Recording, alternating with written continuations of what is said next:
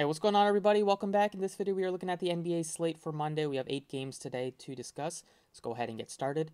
As always, if you enjoy the videos, appreciate it for the like button. Subscribe if you haven't already. If you want to join us, you can visit the website or check out Discord if you want to get in on sports betting. You get two weeks free if you sign up on Discord. Uh, yesterday, hit on FanDuel 399.6 on the main slate. With Jokic as a center pick, he was a must pick.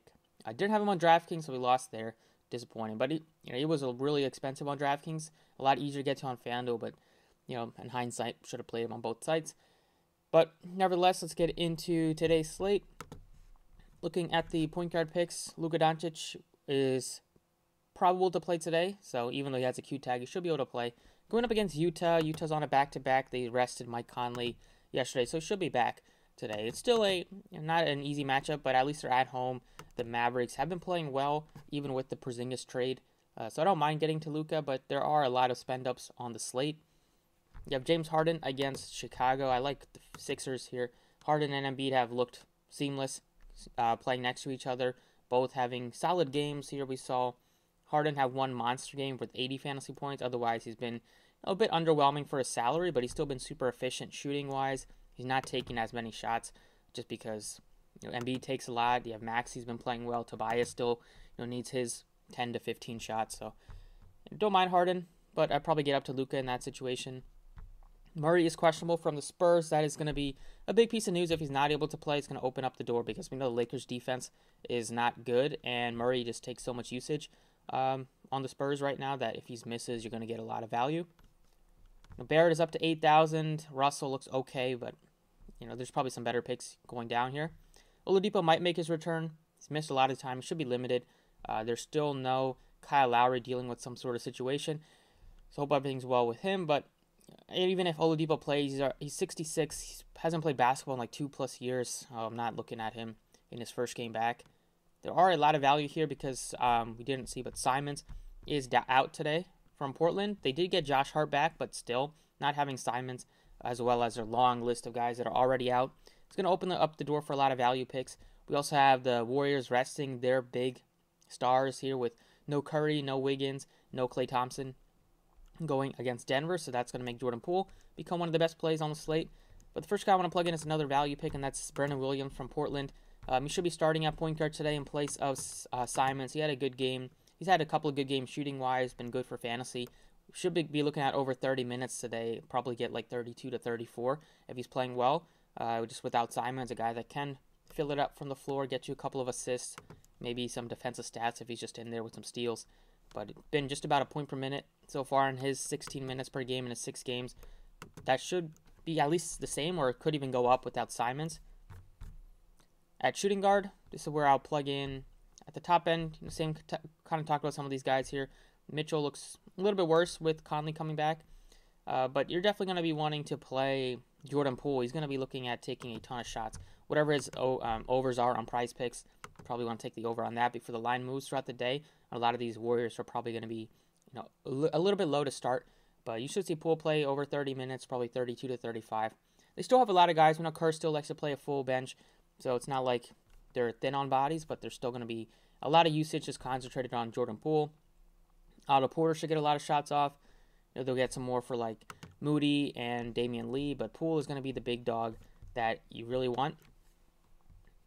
Other picks at shooting guard besides going to Jordan Poole at 53 if you want to go cheaper than that. You have CJ Elleby at 45. He's going to be looking at good minutes here. Beasley at 43, especially if Beverley's out because uh, still Edwards is doubtful today. So Beasley got ejected last game, but if he's able to play, should be looking at good minutes today. And you have Damion Lee at the bottom at 34. And even Moody, you could look to him from the Warriors. Uh, small forward, Butler is 85. Gets a great matchup against Houston on a back to back surprising win last night for them, breaking a 12 game skid against Memphis. So sometimes they just can't expect these things to happen. But don't mind getting to Butler. You have LeBron 3,000 more if you wanted to go there. Josh Hart looks fine, but 74. He's already priced where he should be. Uh, so I'm not going to go crazy with that price. You do have a lot of value here with like McDaniels at 46. He started in place of Edwards and got more run without Beverley, so got up to 37 minutes, especially with Beasley being ejected. Uh, if there's no Beverley and still without Edwards, he looks like a good value pick. Uh, but I'll go with Otto Porter as a guy that another guy just like Jordan Poole is going to get a lot more minutes and a lot more shots off and more usage.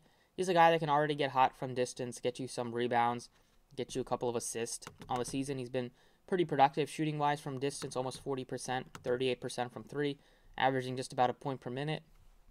Looking at around like at least 25 plus minutes today, something I would expect. And then other guys would be Elleby as a value pick here at small forward. I'm going to go further down in the 3K range.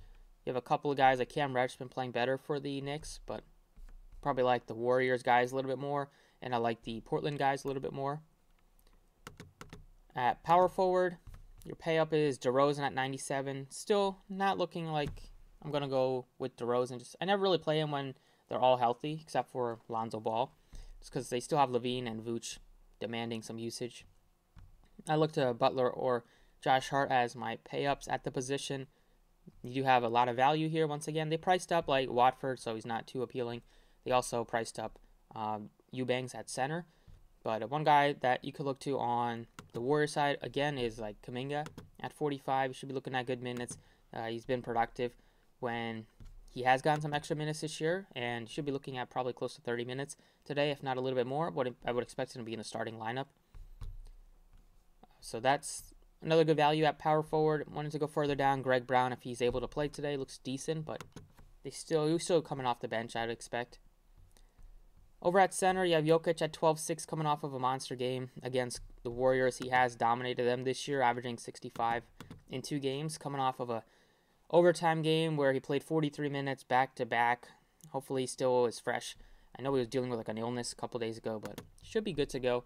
So I, I definitely don't mind getting to um, Jokic. There's a ton of value here. So you can get up to Jokic at center. That can also get up to like Karl-Anthony Towns. Leaves me still with over 40, like $4,300 left for the last two spots. Uh, we still have a lot of value from Portland that we can look to. But KAT has also looked good against uh, Portland. They have no front court besides Eubanks to try to slow him down, and Eubanks has real no shot. Uh, KAT put up 70 last time, last game against Portland, and no Edwards. Most likely today is doubtful. Mm, potentially no Beverley. So another game where KAT and Russell are just going to dominate the usage. And KAT didn't even make a three pointer last game and he still dominated. So still could have had a bigger game. But paying up at centers, I think, makes sense. And then you got a ton of value at the other spots with point guard with Brandon Williams, a lot of these Golden State guys. Other picks on Portland would be like uh, Keon Johnson as a min price guy. He's like thirty nine hundred dollars. You have Elleby at forty five, and then if you wanted to take a shot as a pay up for Josh Hart, but overall, that's it for DraftKings. Let's talk about FanDuel. All right, so FanDuel hasn't moved Jokic's pricing. It went down $100 from last night. So there's a, just two options at center. We'll get to them. Well, for me, that I'm looking at. But starting off at the point guard position, like the price tag on Luka Doncic, he's only 10-7, super easy to get to, especially with no Curry. Murray is questionable, so he might miss. Not a ton of spend ups. Uh, like Russell a lot at 76. And then you have a lot of value, like Kevin Porter, even though it's against Miami, tough matchup. And we know he might like to get active in the Miami clubs. So he did have a good game yesterday. I don't know if I want to play him, but the price tag is still looks somewhat appealing. Value pick wise, it's going to be Jordan Poole is only 47. That is basically a lock play. Um, just way too cheap for Jordan Poole. And then I like Brandon Williams a lot as the min price guy who's going to pay probably play over 30 minutes starting at point guard for um, for the Blazers today, and he has been productive. At shooting guard, plug in Luka. He's just affordable. Like him a little bit more than Harden. You have Mitchell and Butler look like good plays in the 8K range, especially Butler at that price tag. You know, this is a game that he can rack up a ton of steals against Houston, even if he doesn't have a good game shooting wise. Josh Hart at only 6K also looks appealing from Portland. Uh, it's basically looking at like if you want to pay up for Josh Hart or if you want to take a shot on the value picks here uh, with like Keon Johnson is also min price at thirty five hundred dollars. But Poole and Luke are my favorites. Uh, small forward, 8K. Jimmy Butler looks like something you can get to. I also want to try to get up to LeBron, who's also uh, very appealing. At only $10,200, his price tag has come way down on FanDuel over the last couple of games. And we saw what he did last game. He still has it in him. Uh, Mid range wise, Josh Hart would be my favorite pick at 6K. 5K range. If Barton plays, he looks fine at 52. 4K range. Looking at some of these uh, Golden State guys like Kuminga at 46. Uh, you also have Otto Porter. See what his price tag is. He should be pretty affordable. 41 for Otto Porter. Sign me up for that. Um, over at power forward, you have Sabonis at 9K. Looks pretty appealing. Randle only 84 against Sacramento. Looks good. And then you're looking at some of the value with like Gordon at only $4,900. But I'm going to be looking at getting to another Golden State guy, and that will be Otto Porter Jr. Or actually, do like Otto Porter Jr., but uh, on FanDuel Eubanks, still only 4K, where he's 5K on DraftKings. So I'll look to get to Eubanks at least. And center wise, we have just two options for. Well, actually, I can throw an Embiid as three options: Embiid, Jokic, and KAT as my three guys that I'm looking at. They're all pretty affordable compared to where they've been at points this year. And you know, KAT looks good without Edwards. More usage for him against a bad defense. Don't really see myself going cheaper for like a cheap guy. Uh, I guess you could play Eubanks at center, but you're just giving up a lot, hoping that you know one of these three doesn't have a monster game, which seems unlikely. So I don't think you can go wrong between like Jokic or KAT, but I'm gonna lean to Jokic just because 10.8 is still a price tag you don't normally see on him. He's normally at least still like 11.4 on FanDuel, so we're still getting a great discount. And going up against Golden State should be a very good matchup for him. So that's it. Pay up for studs on FanDuel, Jokic, Luka, LeBron. Fill it out with a lot of value from Portland and a lot of value from Golden State. That seems to be a pretty good route to go today. So that's it for the video. Stay tuned for updates and stuff like that. If you want to check out the Discord for sports betting, you can try it out for two weeks free. Link is in the description. It's also on Twitter. Check out the website if you want to join for lineups. And best of luck tonight.